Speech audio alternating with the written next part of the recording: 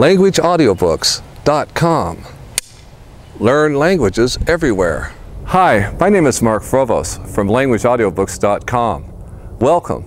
I'm glad you could join us today for another free language lesson. What time is a que hora? Literally at what hour? A que hora? A que hora? And then to that we add sale, which means goes out or leaves. Plane, el avión, el avión. And say, what time does the plane leave? ¿A qué hora sale el avión? ¿A qué hora sale el avión? This is Mark Frobose saying, adios amigos.